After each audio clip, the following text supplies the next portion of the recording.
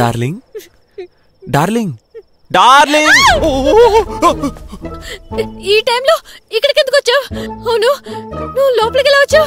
Security security ఏంటి security security నువ్వు అరిచింది నాకే వినపడలేదు.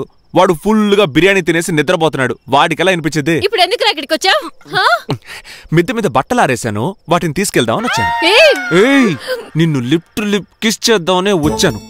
కానీ నీ మొహం చూడగానే కిస్ చేసే మూడే పోయింది.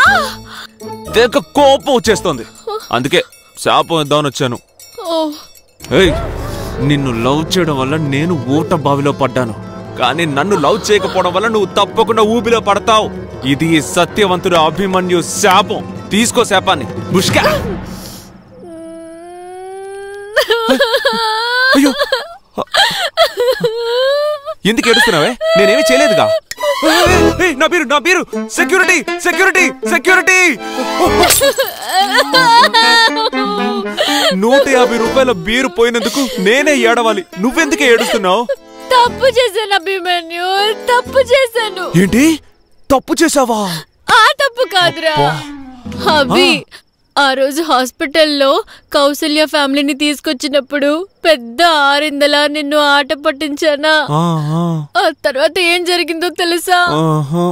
నిశ్చితార్థానికి పెళ్ళికి రెండింటికి ముహూర్తాలు రాయించుకుని వచ్చేసాను పాయింట్ టు పాయింట్ పద్మనాభం అంటే మాటలా? నా కూతురు పెళ్ళి నా కొడుకు పెళ్ళి ఒకే ముహూర్తంలో ఒకే మండపంలో జరిపించాలని ఆశపడ్డాను. అందుకే మా అబ్బాయికి మీ అమ్మాయిని అడుగుదామని వచ్చాను. విషయాలన్నీ మాట్లాడుకోవడం అయిపోయాయి. మా అందరికీ ఓకే. నీ మీద నా నమ్మకంతో నేను కమిట్ అయిపోయాను. ఇదిగో చూడు. పీపీ అంకుల్ పీపీ అంకుల్ అని అభిమానంగా పిలిచావు కదా? అప్పుడే నిర్ణయించుకున్నాను. మా ఇంట్లో దీపం వెలిగించబోయే మహాలక్ష్మివి నువ్వేనని. నీకొక మంచి కుర్రాడు దొరుకుతాడని ఆ రోజే చెప్పానా? చూసావా? మా అన్నయ్య దొరికాడు. ఐస్ త్వరగా మీ పాస్పోర్ట్ డీటెయిల్స్ ఇవ్వండి. కంపెనీలో ఇచ్చి వీసా అప్లై చేయాలి. ఎందుకంటే మనం హనీమూన్కి నయగర ఫాల్స్ పోయి సెల్ఫీ తీసుకుని ఫేస్బుక్లో పెట్టామనుకో లైక్స్ మనకి సునామీలో వస్తాయి. Actually I I. రీ సిగ్గుపడకుండా చెప్పరా? చెప్పు చెప్పు. నువ్వు చెప్తావా? నేను చెప్పరా? అప్పో control ice I love you I love you so much